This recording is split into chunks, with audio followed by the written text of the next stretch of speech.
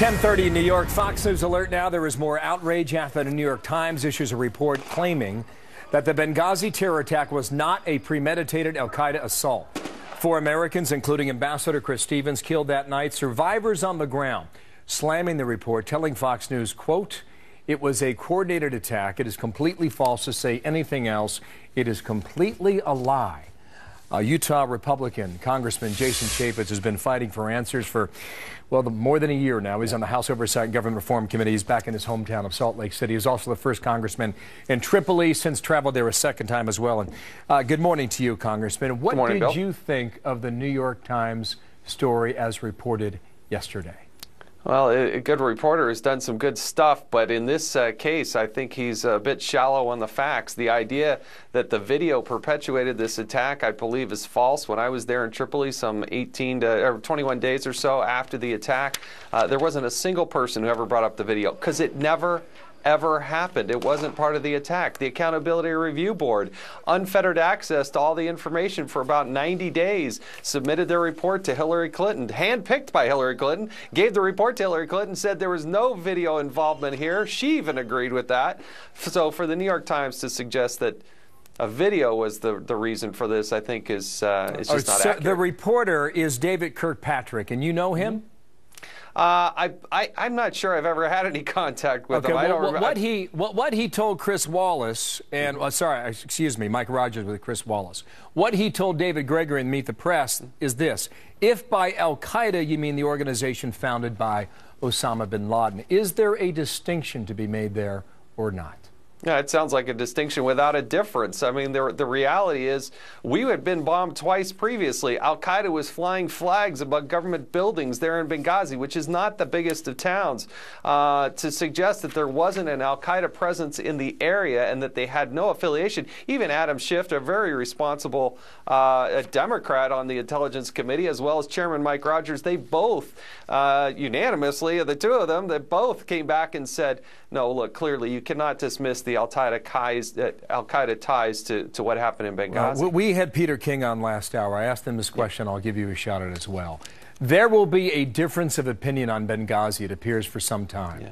Why do you believe that is the case 15, 16 months later? Because the administration has not allowed us access to all the information. The American people have not been given the truth. The reason that the, the New York Times is still doing a story is because the truth has not yet been told. We have not heard in a public setting from the witnesses who are on the ground.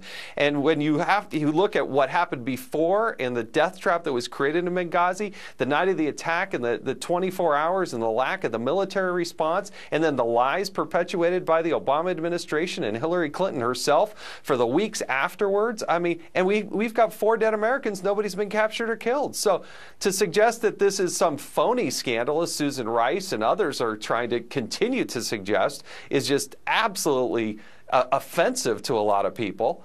And we just haven't gotten the truth yet, Bill. Uh, the Fox News also reporting that there had been about a week long uh, series of meetings in Libya uh, and about Libya. Uh, talking about the threat there. And it, apparently, it was determined that and identified that Al Qaeda uh, was the largest and most significant threat in Libya, in that country, all the way up to the final briefing on September 10th. Do you know about that briefing, and what light can you shed on it? There, there are a lot. There's a lot of information. Not all of it I can talk about on national television. Some classified as as well as unclassified. You can go to YouTube and find videos of parades that they had with Al Qaeda type of flags being flown around the the city there prior to the attack.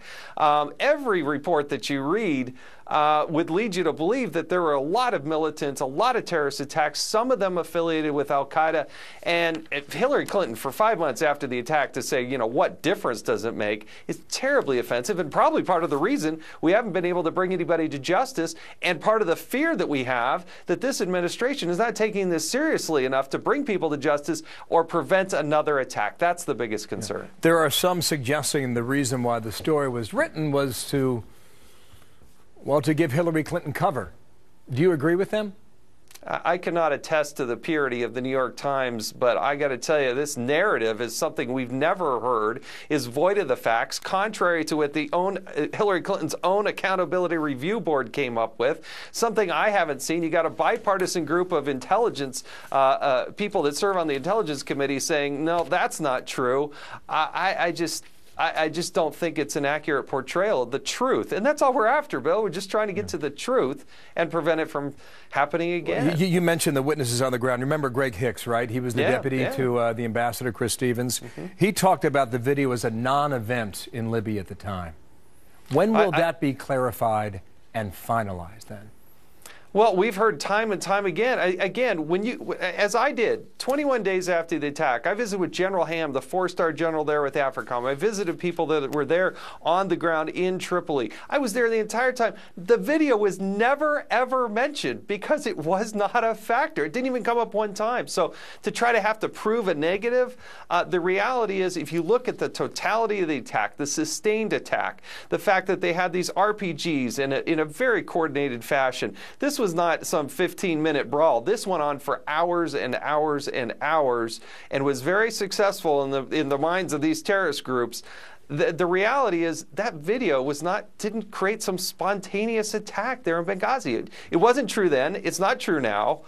And I think that's where the facts will continue to bear it out. This debate continues. Jason Chaffetz, thank you for your time, sir. Happy Thanks, New Bill. Year to you as well. Oh, you too. Uh, and your family there in thank Utah. You.